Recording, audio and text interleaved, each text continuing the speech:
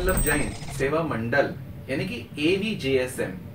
संबंध। इन्होंने आधुनिक सोशल मीडिया के माध्यम से व्हाट्सएप के माध्यम से इन्होंने भी यह विचार किया, इनके आगे वाणी इनके कार्यकर्ताओं ने इसी प्रकार की दूरदृष्टि रखी और ये गुरु भगवंतों का प्रभाव है कि हमारे समाज में इसी प्रकार हम शादी, ब्याह और एक दूसरे से परस्पर परिवारों का परिचय करवाने की एक व्यवस्था का निर्माण करते हैं। और उन्होंने एवीजीएसएम संबंध को जन्म दिया। और बड़ी उत्कृष्ट व्यवस्था है, चाहे व्हाट्सएप के माध्यम से हो, चाहे यूट्यूब जो भी माध्यम है,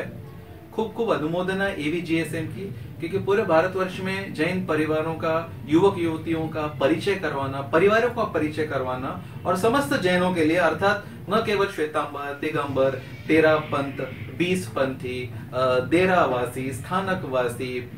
मूर्ति पूजक, ओसवाल, पोरवाल, ये नहीं। जैन हो और उन परिवारों का संबंध संबंध करवाना, परिचय करवाना अलग अलग शहरों में, इसके लिए एवीजीएसएम ने ये बीड़ा उठाया है, ये कार्य उठाया है और बहुत ही उत्कृष्ट कार्य है जो वर्तमान समय में इसकी बहुत ज़्यादा आवश्यकता है। ये जो काम एवीजीएसएम कर रहा है, वास्तव में इससे हमारा जैन समाज संगठित होगा, अखंड रहेगा और ऐसा समाज जो संगठित है और अखंड है, वो एक मज़बूत राष्ट्र निर्माण में भी अपना बहुत बड़ा योगदान देता है। तो मैं